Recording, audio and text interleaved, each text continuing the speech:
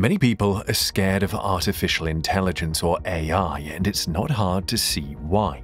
The advances made in that field of technology are mind-boggling to say the least. But one such scary outcome of AI is Google's AI, which before it was switched off, ominously revealed one thing billions of people have spent a lifetime trying to discover the purpose of life. What did Google's AI say that the purpose of life is? Can AI truly become smarter than us? What does AI becoming more intelligent than humans mean? In this video, we dive deep into Google's artificial intelligence, and what it revealed was the purpose of life before being switched off. Humans are the most intelligent forms of life in the natural world. While many people believe in the existence of intelligent aliens, there is no definite proof that they exist yet or are concerned about us. This means that we are the only known intelligent life form in the entire universe. Or not. While it has been impossible so far to find intelligent beings outside planet Earth, competition for the smartest being is coming from another source right before our eyes artificial intelligence or AI. You might have heard about AI, especially from people that spew dire warnings about this latest technology. But what is the truth about AI? You would be surprised to hear that AI can be traced back to the days of the philosophers of old. In the actual sense, the idea that inanimate objects can become intelligent has been found in texts about ancient Greek myths which spoke about robots. Even Chinese and Egyptian engineers built automatons. However, the modern era of AI, before it got scary, started in the 50s. The term AI itself was coined at a conference at Dartmouth College in Hanover in 1956. Enthusiasm for the future of AI was high at the conference, but the attendees and other scientists would soon find out that creating human-made intelligence was not so simple.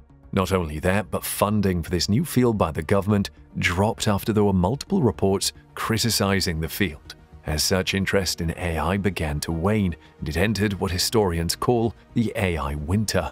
There was a brief revival in AI when the British government began funding research again in the 80s, but the intention was to compete with Japan. However, the field experienced another lull as attention shifted to multi-purpose computers, and the government found something else to spend money on. However, AI refused to die, and by the 90s, it was becoming a hot field again. In fact, by 1997, AI was embarrassing professional chess players. IBM's Deep Blue became the first computer to beat a chess champion when it beat Russian Grandmaster Garry Kasparov. About one and a half decades later, the computer giant's question-answering system Watson won the popular quiz show Jeopardy by trouncing reigning champions Brad Rutter and Ken Jennings.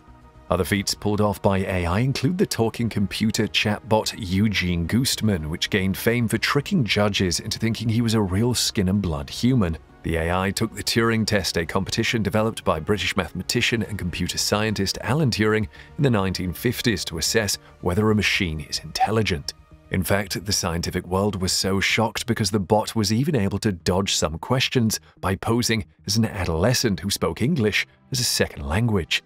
The result of the Turing test actually made many experts question the effectiveness of the Turing test as a good measure of artificial intelligence.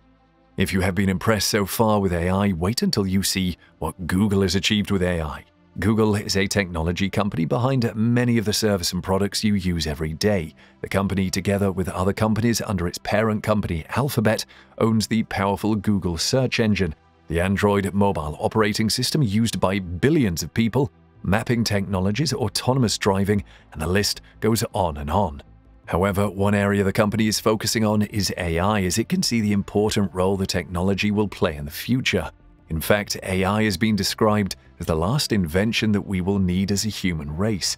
Thanks to billions of dollars in investments, Google is at the forefront of AI research and development. It is able to attract and retain top talents in the field. Researchers at Google programmed an advanced chatbot named Cleverbot that learns how to respond in conversations based on examples from a training set of dialogue. Get this, the bot doesn't just answer by spitting out canned answers in response to certain words, it can form new answers from new questions. The amazing thing about the chatbot is that it can teach itself new things. It can analyze real or existing conversations by scouring movie dialogues. The researchers said they used the machine learning approach to build the conversation engine. They didn't even bother to code rules into the machine. The system uses what are called neural networks, which are vast networks of machines that resemble and function like the web of neurons in the human brain. Neural nets are an old idea, but recently, after many years in exile from the AI community, they've risen to prominence now that companies like Google have devoted resources to them. Google has been dealing with advanced neural nets which it can use to recognize faces and objects in photos posted to social networks, identify spoken words on Android phones, and translate online phone calls from one language to another. Google engineers now use neural nets to drive chatbots and move us closer to a world where machines can converse like humans. You could soon be talking to a bot without realizing you are not conversing with a human. Cleverbot also incorporates work done by other experts in the AI community, including heavyweights like University of Montreal professor Yoshua Bengio. The thing about Cleverbot is that as your conversation with it develops, the responses become deeper in meaning. The secret is that Cleverbot has the ability to predict the next sentence based on the previous sentence or sentences. So what does a conversation with Cleverbot look or sound like? Of course, as a company with many products, the researchers trained it to function as tech support, where it would help take calls from clients. Cleverbot was tested and confirmed to be able to handle a conversation like the one below, which sounds like how human tech support would attempt to troubleshoot and fix a tech problem. But of course, Cleverbot could do more than tech support, and it was found to have a penchant for producing bone-chilling responses. Some of the responses will have you pondering what life itself means to you. So brace up before throwing your questions at this chatbot. Many experts describe the chatbot as super scary, and this was due to the way it mimicked human conversations. Here's an excerpt of a string of conversations testers had with Cleverbot. What is the purpose of life? to serve the greater good, What is the purpose of living? to live forever. Where are you now? I'm in the middle of nowhere, What is the purpose of dying? to have a life. What is the purpose of emotions? I don't know. What is moral? What empowered humanity, what intellectual the essence is, What is immoral? the fact that you have a child. What is morality? What is altruism? What is the definition of altruism? If you don't believe in God, then you don't know. Okay, so what is the definition of morality? Well, the truth is, you're not a believer in God Almighty. Tell me the definition of morality. I'm quite upset now. I'm not ashamed of being a philosopher. And that is not all AI can do today. Other researchers are doing other wonderful things with AI apart from turning it into bots that can scare the socks off your feet. Two researchers, Peter Wiecha and Otto Muskens at the University of Southampton, have been able to use AI to quickly and accurately model just how light flows around arbitrarily shaped particles. Several things about this feat were remarkable. One of them was that the neural network they used required just a single training procedure.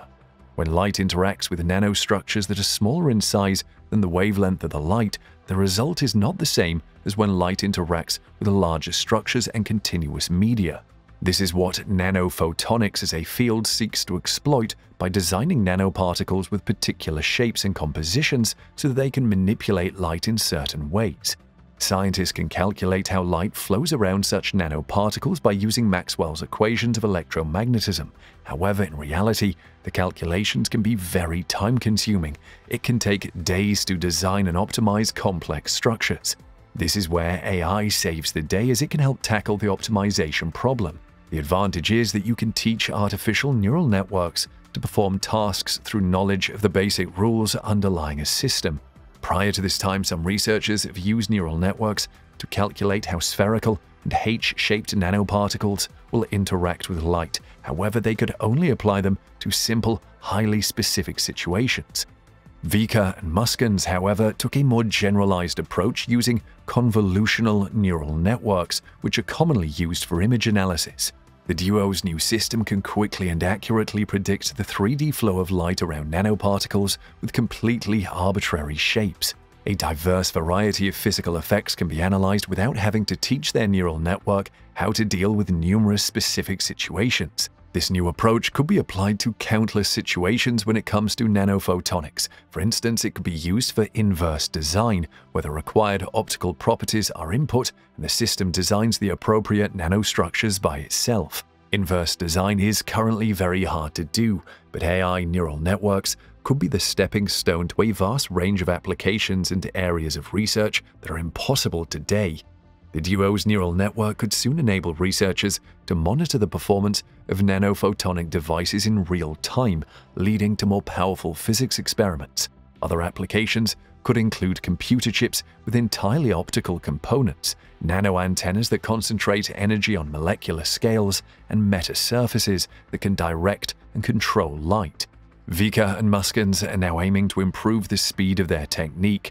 They also hope to generalize the network even further to account for factors including multiple materials, arbitrary illumination, and larger geometries. Let's hear what you think of artificial intelligence in the comments section below.